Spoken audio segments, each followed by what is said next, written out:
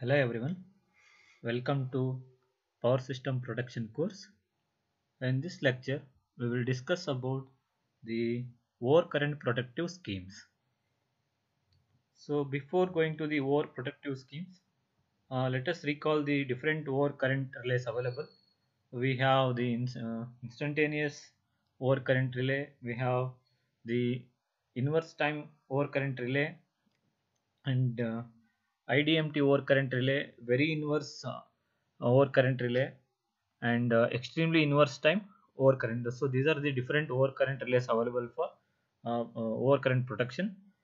And here let us understand how this overcurrent protective schemes are applied to the protection to the any uh, power system equipments. So mainly these overcurrent protective schemes are widely used for the protection of the distribution lines. So in order to understand this, let us consider a radial feeder which may be uh, sectionalized and uh, two or more con- uh, overcurrent relays may be used. So here you can observe this is a radial feeder. This is sectionalized into three parts. Okay. So one relay for the protection of each section of the feeder. So you can observe uh, at the C section, they, we have a one protective device here. Uh, this is a protective device. This is shown in the uh, figure here. So we have three sections here: section A, section section AB, section BC, and section beyond C. So if there is any fault occurs beyond C, which means uh, from here to till here, if there is any fault occurs uh, beyond C, then the circuit breaker at substation C, at the substation C, should trip. The circuit breaker at A and B, the circuit breakers at A and B should not trip as far as the normal operation is concerned. So if the relay at C, if for any faults, if the relay at C fails, uh, if the faults beyond uh, C, if the relay at C fails to operate, relay at C fails to operate, then the circuit breaker B should trip as a backup protection. Similarly, if a fault occurs between B and C, section B and C, the circuit breaker at B should trip and the circuit breaker A should not trip. But in case if a failure in operation of the relay at uh, um, uh, substation B, then the circuit breaker A should A should trip. So this is the how the overcurrent uh, uh, protect uh, protective schemes are used for the distribution lines. So thus it is seen that the relays must be very selective with each other. So for for uh, proper selectivity of the relays, one of the following schemes can be employed depending on the system conditions. So we have three three schemes. One is uh, time graded system. Next one is current graded system, and the last one is combination of the time and uh, current graded systems. So let us understand these three time graded, current graded, and combination of time and current graded. So time graded system. So in this scheme, uh, we use the definite time overcurrent relays are used. Uh, when a definite time relay operates for a fault current, it starts a timing unit which trips the circuit breaker after a preset value. That which means the definite time overcurrent relays operates for a, a definite time, definite preset time. So if there is any fault current, the timing unit will start and it will give the tripping signal to the circuit breaker. So which is independent of the magnitude of the fault current.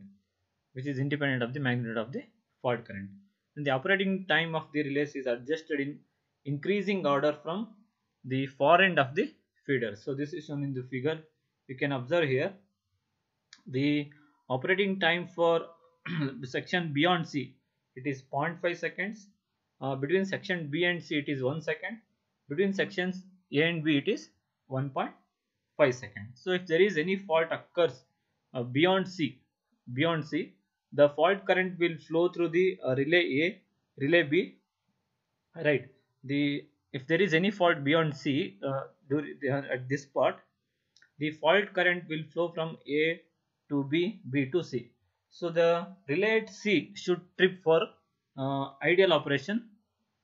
Uh, it will take 0.5 seconds to trip the circuit if the relay C fails to identify the fault current and fails to operate, operate then the breaker at relay at uh, section B, section BC will come into picture and it will take 1 seconds and it will trip the circuit. Similarly, if the relay at um, B also fails, relay at B also fails, then the relay at A will come into picture and it will trip the circuit.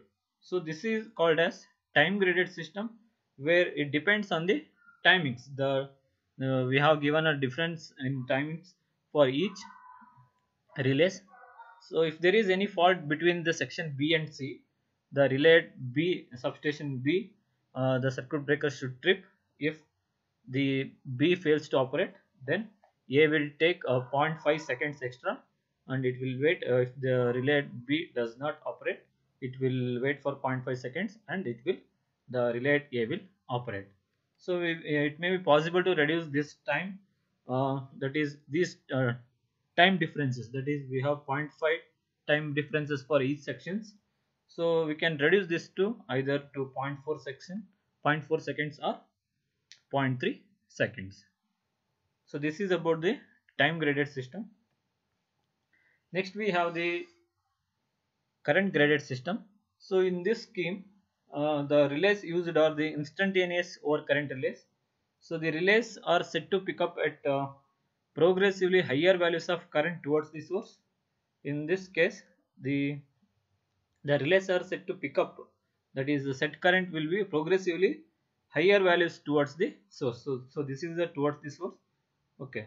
In case of the time graded system, you can observe one the one of the drawback of this scheme is so if there is a huge current if there is a huge current uh, beyond uh, C C section then the at the source end this is the source end the equipments connected at the source ends may get damaged since it will take uh, much time to trip the uh, circuit circuit from the uh, faulty part from the healthy part so it will take around 1.5 seconds which means which may damage the equipments connected at the source end.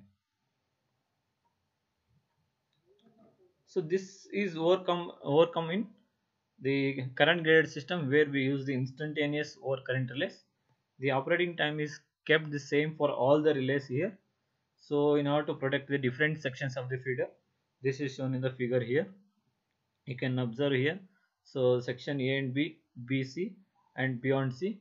The operating time characteristics uh, here we have the time characteristics of the instantaneous over current relay. The current setting for for a relay corresponds to the fault current uh, fault current level for the feeder section to be protected.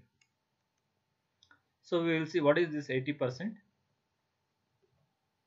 So ideally the relay B should trip for any faults between uh, B and C. Uh, if there is any faults between B and C, the relay B should trip. Similarly, if there is any fault beyond C, the relay C should trip. Similarly, if there is any fault between A and B, the relay uh, A should trip. So uh, this is the ideal operation. So this ideal operation is not achieved due to the some of the reasons.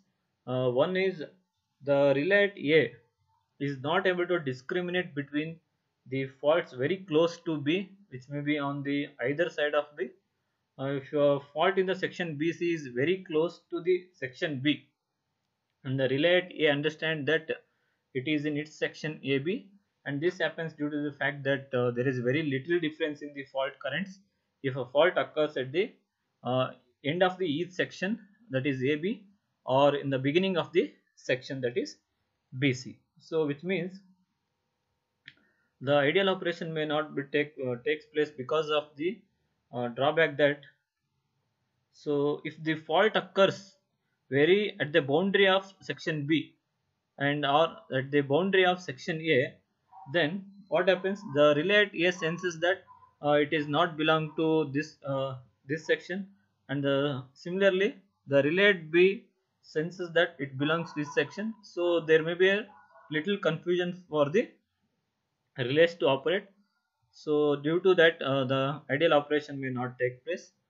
And the magnitude of the fault current cannot be accurately determined for as all the circuit parameters uh, may not be known. During the fault the all the circuit parameters may not be known. So magnitude of the current cannot be accurately determined. And during a fault there is a transient conditions and the performance of the relays is not accurate so in order to obtain obtain the proper discrimination the relays are set to protect only a part of the feeder only part of the feeder. That is usually 80 per 80 percent since you can see here. So only 80 percent of the section is protected with the help of the instantaneous overcurrent relays. The remaining is protected with the help of the uh, IDMT relays. So this uh, current graded scheme cannot be used alone this system cannot be used alone it may be used in conjunction with the IDMT relays so here you can see 80% of the section uh, section AB is protected by the instantaneous current relays and uh, remaining uh, is protected by the help of the IDMT relays. So this is about the uh, current graded system. Lastly we have the combination of current and time grading. So in this scheme this is most widely used protect, uh, protection of protection scheme for the distribution lines here IDM relays are employed in this scheme. So in case of the time graded system, we have uh, used definite time over current relays. In case of current graded system, uh, instantaneous relays in conjunction with the IDM relays are used. In case of the combination of current and time grading, uh, we use only IDM relays. So they have the combined features of current and time grading. The IDMT relays have current as well as time setting arrangements. So that's why we use IDMT relays. The current setting of the relay is made according to the fault current levels of the particular section to be protected. The current settings uh, are made according to the uh, fault level fault current levels of a particular section to be protected and the relays are set to pick up progressively at higher current levels towards the source so uh, the time time setting is also done in a progressively increasing order towards the source, the difference in the operating times of two adjacent relays is kept around 0.5 seconds. So the type of the relays we use, it depends on the system characteristics where if the source impedance is smaller uh, than the load impedance then we can use the inverse time current characteristic uh, over current relays. If the uh, source impedance is larger compared to the uh, load impedance then we can use the definite time characteristic uh, over current relays and uh, an IDMT relay IDMT characteristic relay is, is a compromise at lower values of fault current its characteristics is inverse time characteristics and at higher values of fault current it gives a definite time characteristics so this is about the overcurrent protective schemes. Thanks for watching.